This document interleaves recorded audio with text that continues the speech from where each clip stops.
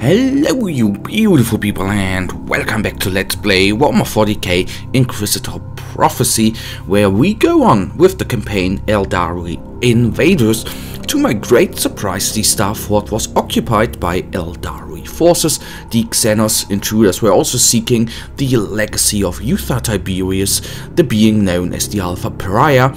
According to my tech priest the hostility of these Eldar is rooted in an unfortunate exterminatus against an Aeldari Maiden World, I have no time to dwell on past mistakes. Securing the Alpha Pariah is the only thing that matters.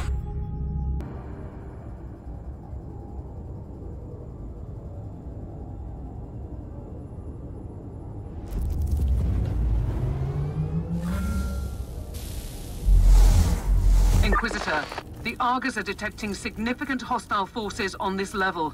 Are you absolutely sure you want to go in alone? This is the most optimal decision. Based on the facts I have gathered on the Alpha Pariah so far, she would be a valuable asset to the Imperium. Oh yeah, I think so too. And yes, we of course wanna do it alone, because why not? Who else shall actually help us? The um, Sergeant of the Stormwatchers? I don't think so. So a nice little inoculator.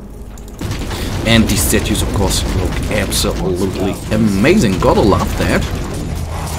Still I can say that every time, and I say that every time, I just love the Imperial style. I love it.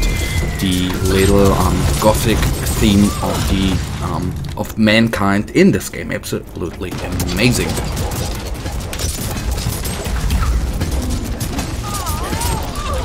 So I'm resummoning, resummoning our guys here. Because I think, oh my goodness, that was amazing. Because we had a little bit of trouble back here.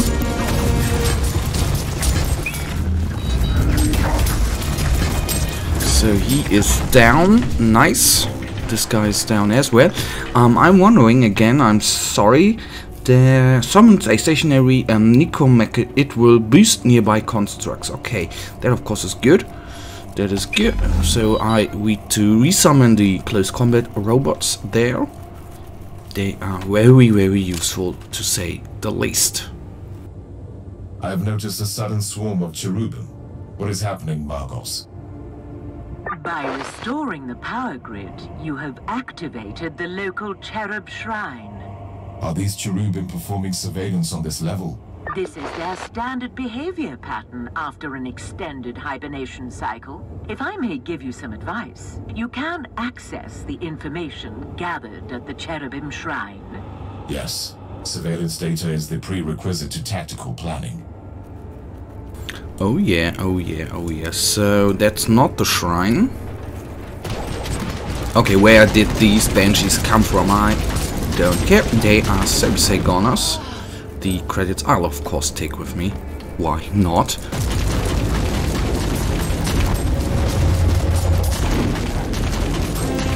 Okay, I'll close. Okay. Could you please summon? Thank you. I don't know why nothing has been summoned there.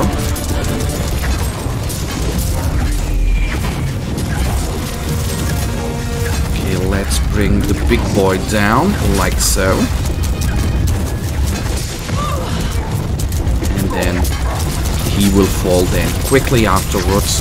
Nice that he uses his um, D-gun or his Vortex gun. So close combat attacks there. Very neat feature indeed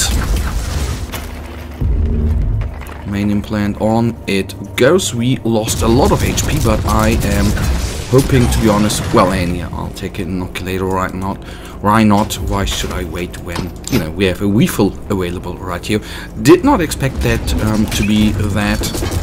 I didn't want, I did want to say relevant, but that's the wrong word, but to be as important here to us that we need to, um, that we take so much damage over time and technically nearly die half of the time.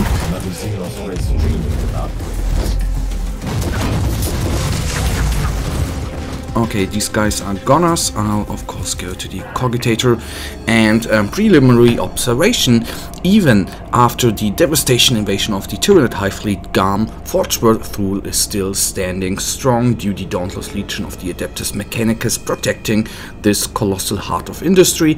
The massive manufa uh, are recently churning out weaponry and machine parts to supply the sector with the gifts of the Omnissiah as the tech priests are prone to preach around here. Um, Fabricator General um, Tubalt Vertex gathering information on the Fabricator General is the center of power is boarding on the Fabricator General is in his center of power is bordering um, of the impossible. Vertex is considered a competent, logical, and devoted leader ruling the Forge world from uh, with iron fist. By all accounts, he is re a respected member of the cult Mechanicus, although even this must his most devoted followers admit that there's um, his own agenda and he's willing to um, dedicate long decade to see the plans come to fruition. I suggest that the Conclave should keep him under strict observation in the future. The most disturbing realization during my investigation is the strong influence of the Xenarites seem to have over Fortress Thule the Puritans of the Conclave have um, harbored the significant um, reservations regarding the cult Mechanicus um, faction for a very long time due to the Xenarite dedication to heretical and Xenos technology, and my findings only reinforced um, our prevailing um, uncertainty. Colligati Conclave Archives copied also rendered for the inspection of the de um, Department of Morality. Okay, that's nice, but why not use alien technology. If you not use it, you can theoretically just use it um, and um, reverse engineer it. Um, that could help out, I think, the Imperium um, over long or short, in my humble opinion.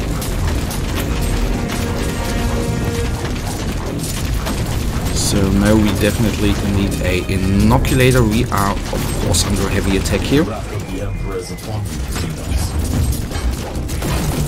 And then taking the Wraithguard down. Why do they attack us here actually? These nasty buggers.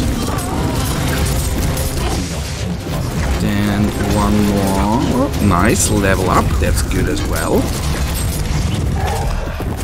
That makes us a little more powerful, I assume. So did we actually get a... Okay. Um, 46... Okay, okay, okay, okay. So this one is an upgrade. This one is definitely a upgrade, so I'll take it. 9 is no. Let's take it. Okay. So, on we go. I might even Okay, I thought we could activate um, some turrets here, but no, we can't, so we just go on. An atrocious waste. You have reached the main Accessing the cherub pict feed is the next logical So we are, of course, not of course, but we are facing a Warlock here. I think we have not faced it before, but it is not as powerful as I, mm, I imagined it to be. I really thought it would be a very, very psychic, um, heavy being, but anyhow. I'll take a quick look here. 17, that one is a upgrade. 47, that is a small... Oh, 48, I am looking forward to that. And this one is no upgrade. Okay, so we are now a little bit more powerful and we punch a little faster, which of course is very, very good.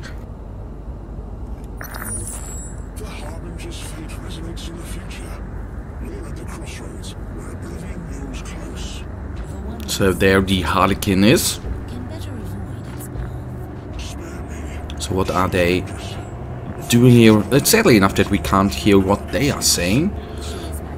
But I guess this pig feet is going to repeat, repeat, and repeat.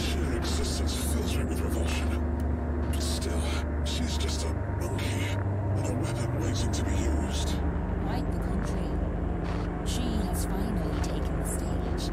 Everything will unfold from here. Then we should play our parts too. Wise, proceed. Alright, so they talked something about a plan. Okay, good, good. So now then, I remember here, guys.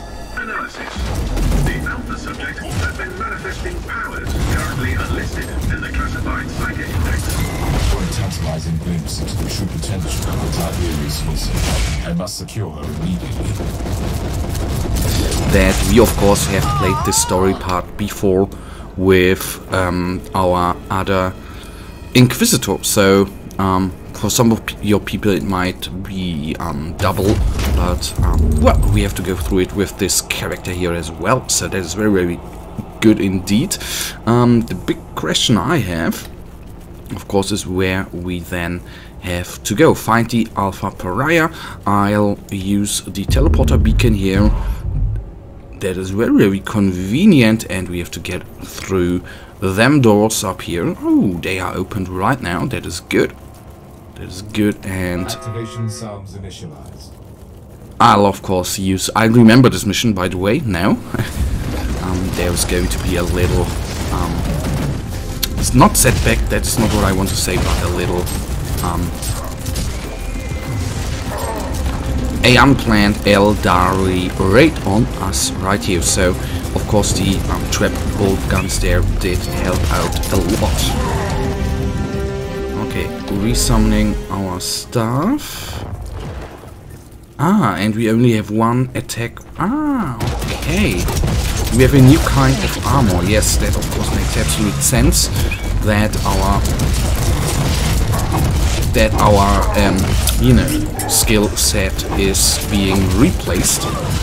I need to get used to that because we basically only have one attack now with this axe.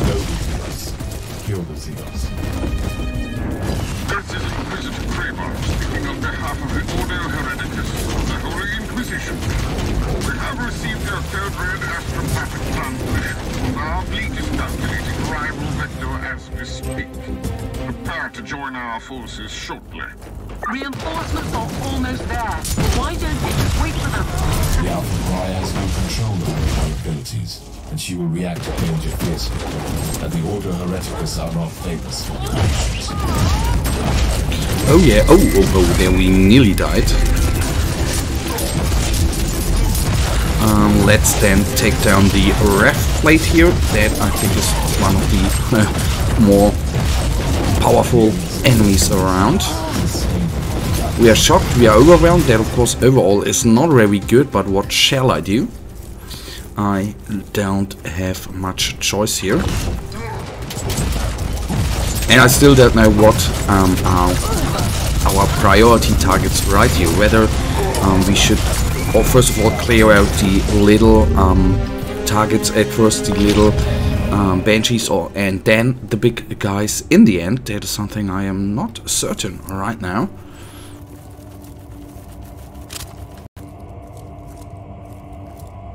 Are you trying to flee the mayhem of your own doing? I am nothing but an observer of the unfolding tragedy. Stop speaking in riddles. What tragedy? The Harbinger was brought into existence for a reason. She is either the fall or the last hope of your misguided kind. Is she now? Tell me everything about the Alpha Pariah, or I will kill you. You have no sense of timing, human. We will meet again at a more suitable place and time.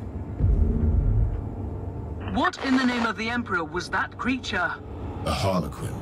A member of an extremely militant and highly cultured subgroup within the Aeldari race that doesn't belong to any faction. Alright, um, that is true. Although I like them very, very much. Um, wonderful models, by the way. And I, of course, think the background, the Aeldari, not the, the Aeldari, but the Harlequin background is very, very good. One of the, I think, most potent backgrounds in the 40k universe, in my little humble opinion here. So that is one thing I, when I played this mission with our um, main Inquisitor, um, I was a little bit confused by. As I said before, I absolutely love the mechanics on the warp spiders. I like that they um, teleport to you, and once you punch or shoot at them, they teleport away. Um, but what I don't understand is that they, they teleport right in front of you, and um, that actually, in my opinion, does not really make sense. But anyhow, that's just me. Carrying on. The persistence of your kind, Mon-keigh, almost makes you interesting. I will not rest until I have secured the Imperial subject. Why? She is unnatural. She is everything we both consider repugnant. That is totally irrelevant to the situation. Still, you don't need to be concerned about her. We will need her alive. But I am yet concerned. And, okay, though, let me first of all take down the, um, these guys here they are bonus damage on me. I don't necessarily need.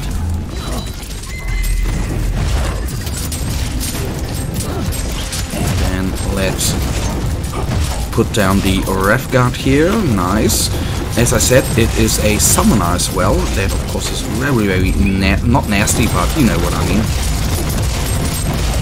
And I need to get used to that we only uh, have one punch available here and that the other thing then is summoning our little robots. So let's bring him down. He's nearly, nearly gone. What the hell, where... Mm, okay, so that is his speciality, I guess. Appearing and disap not disappearing, but that is one thing I absolutely hate in this game. There are certain psykers which um, which are actually um, tripling or doubling to be precise and then you have to kill them three times. That is very, in my opinion at least, relatively annoying. So this guy is gone, putting all things up. I really need to reactivate the um, auto pickup Another functionality. It might contain new clues.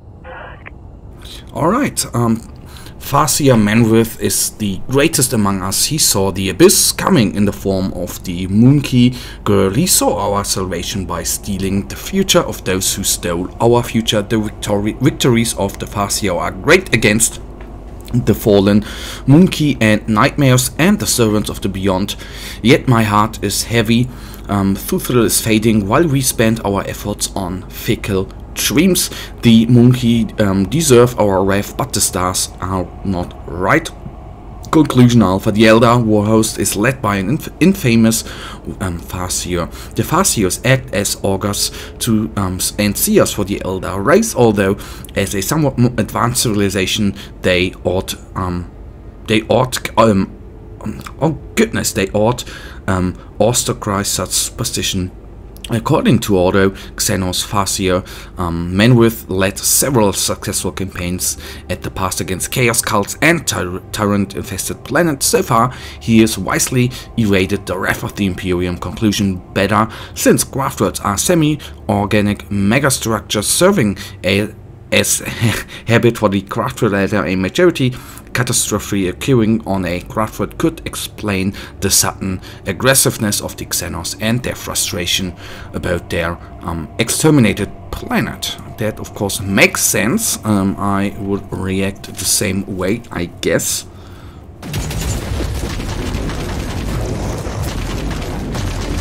So let's resummon the close combat guys.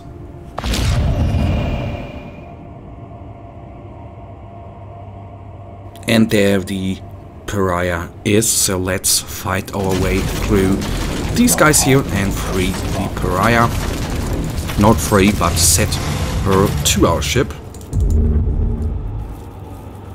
Stuff with us. There should be still a couple of enemies in front of us, but I think we can... No, not. That's surprising.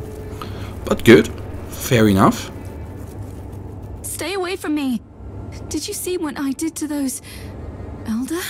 Yes. I have the pict records of the entire encounter for further analysis. Who are you? What are you doing here? I am an Inquisitor of the Holy Orders. I have been investigating the mysteries of Uther Tiberius. I'm here to take you to safety. Uther Tiberius. What should I even call that man? My creator? My father? My nemesis? I have insufficient information to answer your question at this time. And what if I want to stay here? Will you kill me then? Do you harbor any curiosity about your origins? Wouldn't you like to gain more information on your potential? That's all I've ever wanted. But you didn't answer my question. It was a foolish question. I can provide protection and a relatively comfortable existence for you. Rejecting my offer would be illogical. I'll go with you. I don't feel I have any choice, anyway. Alright, level up, that's nice. Now we are level 10. What is a little troubling for me, not the story, of course, is that we are, are losing HP so quickly here with our nice little tech priest eye. Um, hope that is going to change while or during we gear up. Inquisitor Cravat, you may be relieved to know that I have completed my mission without your assistance. We expected no less of you. However, I demand that you cease your involvement in this matter and place the martyr and that Alpha Pariah into Ordo Hereticus custody. I am a seeker of knowledge myself, and I shall be involved in the ongoing investigation. Uther Tiberius was a heretic. The Martyr has clearly been a hotbed of heretical activity. This is Ordo Hereticus jurisdiction, and we will purge every last hole of that accursed ship. The decks are swarming with daemons. Are you prepared to start a jurisdictional dispute with the Ordo Malleus as well? I don't like your tone, Inquisitor. Not one bit. We could make a compromise. I can give up the investigation on the Martyr, but the Alpha subject is the most intriguing asset for the Imperium we've had. I must study her abilities. I usually don't compromise, but considering your stellar achievements in the fight against heresy, I am willing to make an exception. I sense a but coming. But we might need your help as well. A sudden outbreak of potentially chaos-related infestation on Cascadia Prime requires attention. We need our forces on the Martyr. If you are willing to investigate the infestation, you can take the Alpha subject with you. The Martyr cannot leave this system, though. I can accept that compromise. Alright, so that we already knew. That is not that bad, actually. Um, we are level 10, that is nice. Unlock new type, okay. Extra component slot on inoculators to um, skill points. And yes, guys, I will, of course, get into skill points at one point. So this one is technically a nice little upgrade. So let's do that. I'll put you down in order I uh, change my mind on the... Oh my goodness, okay, I'd rather take the... This one then. I'll put you then there. 45, okay, okay, okay. 56. That of course is a huge upgrade. Um, I'll take that then.